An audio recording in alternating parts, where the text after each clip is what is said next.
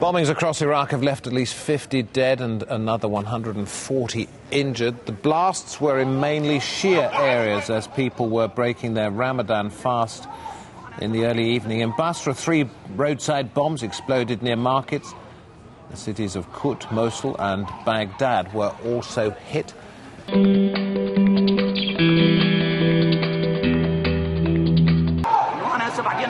Three bombs exploded in quick succession in Basra.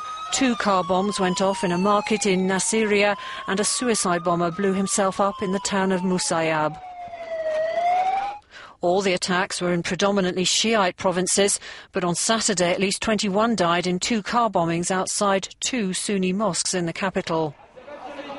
The violence appears to be part of a sustained campaign of militant attacks this year.